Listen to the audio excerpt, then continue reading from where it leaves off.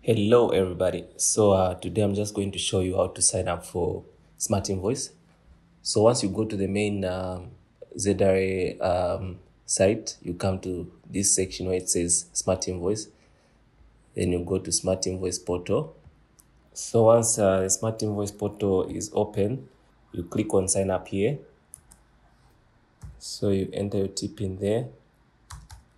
Then you click on Verify if you are registered, uh, if your company is registered, all the details for your company will come and they'll show here.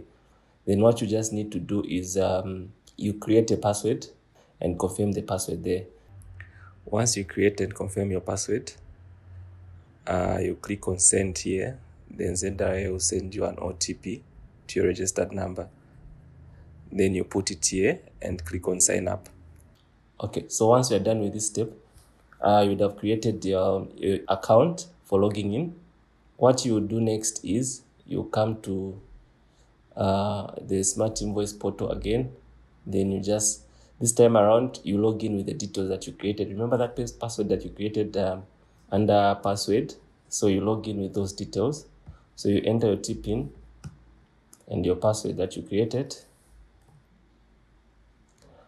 So once you log in, uh, you go on you come on top here and apply. So this is where you apply for the actual smart invoice. You click there. So it will show all the details of your company here. Yes all the details of your company will show there. So you come here at the bottom and um, you choose the which version of the, uh, the smart invoice you need. In this case, we need that desktop, desktop application, so I'll choose desktop application. Then I'll enter the model of the computer that we are going to install this smart invoice on. Then I'll also the, enter the, the serial number of the machine that I would like to install this on. Before you doing all this, remember to fill in the smart invoice commitment form, uh, which can be downloaded on Google so you can download it there and fill it in.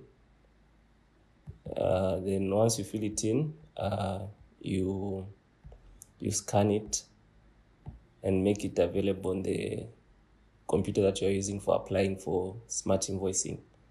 So once that is done you come here look for the smart invoice commitment form and attach it. So we've attached the smart invoice um, commitment form, what you're going to do is come down here and select all these. You mark all these.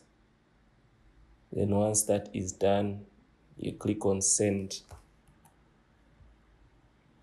Confirm that you'd like to apply for Smart Invoice.